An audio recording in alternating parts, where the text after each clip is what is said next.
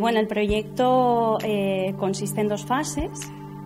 La primera de las fases es hacer un análisis o un diagnóstico de la cartera de salud de, Guaranda y a través de entrevistas que hemos llevado a cabo con la participación comunitaria, eh, analizar un poquito eh, cuál es la percepción de la población a la hora de acceder a los servicios sanitarios, por un lado, y por otro ver si realmente eh, coincide eh, lo que ofrece el sistema sanitario con los recursos a los que puede acceder la población en Guaranda. Esto por un lado. Y por otro lado, eh, la finalidad es identificar aquellos recursos o fortalezas con las que cuenta la comunidad, ¿vale? Para potenciar, digamos, desde un punto de vista o desde un marco teórico de la salud positiva, potenciar la participación ciudadana. ¿En qué aspecto? Eh, la finalidad es que la ciudadanía tome parte de este proyecto con nosotros y con la Universidad Estatal de Bolívar para que ellos vayan a, propiciar cambios a un futuro. ¿eh?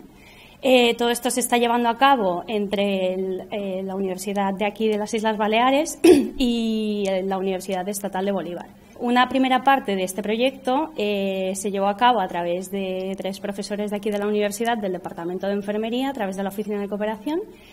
Y eh, bueno, estuvimos allí un mes donde se hizo, se hizo la implementación del proyecto y, luego a partir de ese mes eh, ya ha sido seguido por los profesores de la Universidad Estatal de Bolívar. Bueno, nosotros venimos de la Universidad Estatal de Bolívar de Ecuador.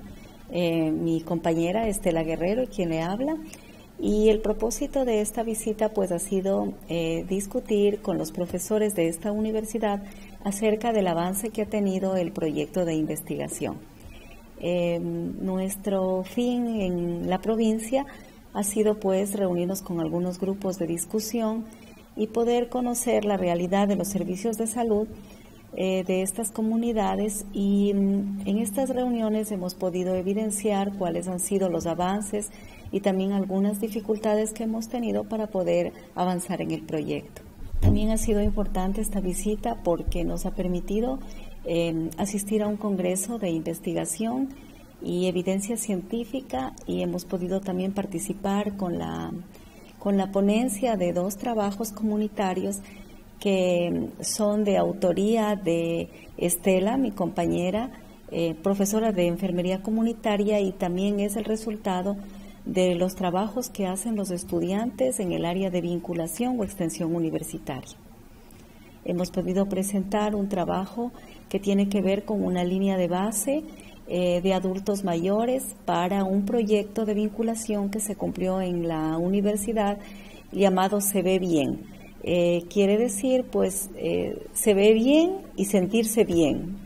Este proyecto lo aplicó eh, con los estudiantes, Estela, y trabajaron con adultos mayores de nuestra provincia y asimismo fue enfocado también a capacitar a los cuidadores de estos adultos mayores, cuidadores no profesionales, más bien empíricos, que trabajan con el Ministerio de Inclusión Social y también la Universidad Estatal de Bolívar.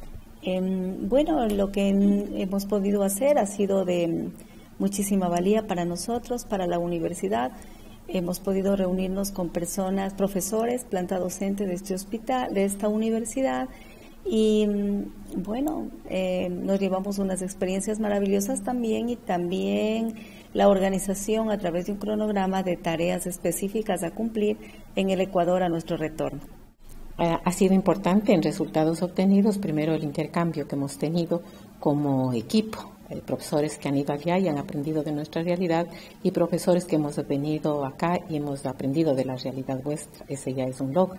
También, por ejemplo, en cuanto a la parte ya del proyecto mismo, em, hemos fortalecido el trabajo comunitario y sobre todo un cambio de enfoque. El cambio de enfoque de un modelo de salud eminentemente tal vez biomédico a un modelo eh, más humano, más de capacidades, como es el modelo salutogénico y el enfoque de lo positivo, no solamente de la enfermedad.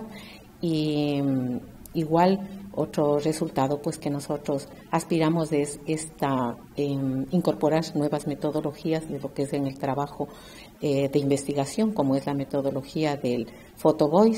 Entonces tenemos mucho material nosotros para trabajar nuestros proyectos con esa metodología, conociéndola, incorporándola tanto a este proyecto como a otros que pensamos hacerlo. Esos han sido los logros eh, más significativos que tenemos y sobre todo uno fundamental, el empoderamiento de la población hacia verse a sí mismo y en vez de solo curarse, eh, ver por su propia salud y por su propio autocuidado. Para nosotros en Ecuador, básicamente para enfermería, es eh, indexar eh, artículos pues en revistas de alto impacto. Entonces, con este proyecto aspiramos eso, pues y seguir, ojalá en otros proyectos, porque para nosotros el trabajo comunitario allá es bastante un campo amplio.